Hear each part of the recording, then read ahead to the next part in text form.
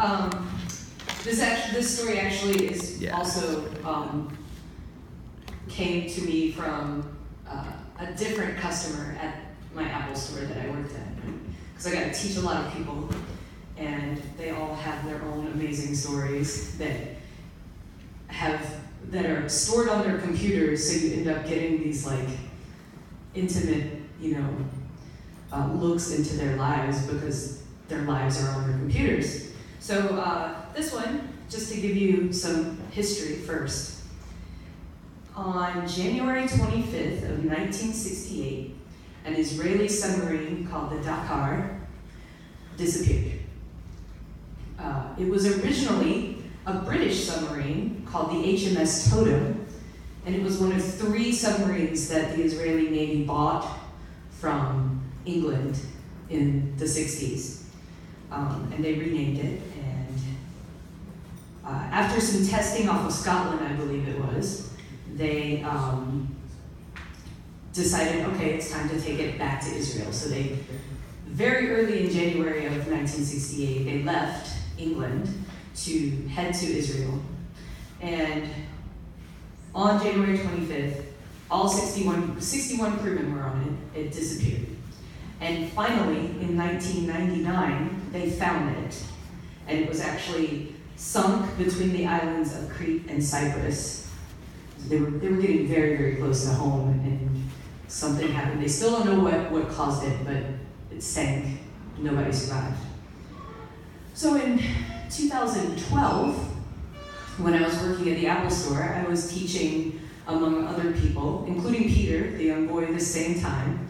I was teaching this crazy Israeli woman named Fifi.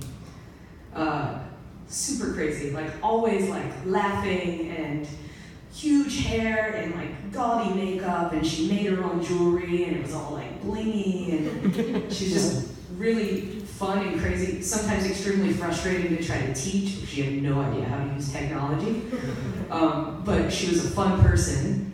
And one day we were working on some of her photos, trying to organize things on her computer so that not everything was just on her desktop. And uh, I, I always got frustrated with that, and then I caught my computer the other day, like completely full on her desktop. Anyway, I've since fixed that. Um, so we're looking through photos on her desktop, and this one picture, she double clicks, it opens up, and it's this young man, um, good looking young man, black and white photo, and he's in a uniform. And she starts crying. And for Fifi to start crying was just like, what do I do? Like, what is going on? This woman, I've never seen her like that. Um, and she proceeds to tell me that that young man was her brother, and that in 1968 he disappeared with a submarine. And she told me nothing else about it. She didn't even tell me the year. And I went home and did some online research, and I found out what submarine it was and the event and everything. Um, and also, right around that same time, I started doing some more songwriting of my own, and I was just overwhelmed with the idea of this, you know, situation and like what it possibly could have been like for these sailors. That like some kind of mechanical failure happens, and you're in a submarine and you just start sinking. Like that's got to be to me one of the most terrifying things that could possibly like terrifying ways to go out basically. So i wrote a song and i you know i ended up sharing it with fifi. Um, but she didn't really i think she listened to it. She didn't really tell me much about it. It was probably because it was such a uh, an emotional topic for her. But so i didn't really expect for her to like give me much back but i did want to, to give it to her. So i made a recording of it and i gave it to her. And it has since become probably one of the best songs that I've written. Um, most of my songs, if you've ever been to my shows, are ridiculous and silly, but this is a quite serious one. It's called Dakar. And I'm going to ask Tim to come up with his accordion to help me play this song for you. Um, so give me one minute to get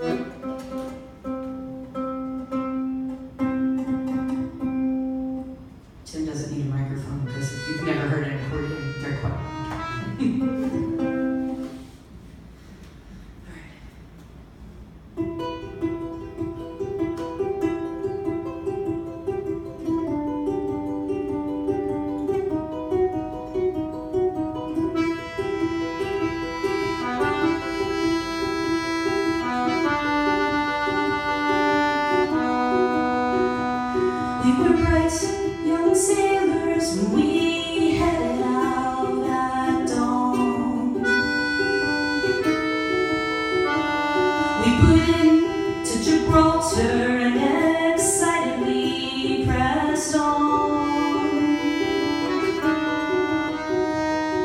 The periscope went down as we glided under the sea. We had no